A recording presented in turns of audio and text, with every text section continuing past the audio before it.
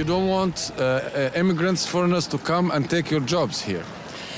No, I don't think so. Uh, it's uh, not grow up so much of job. This, uh, you have a nivå, nivå.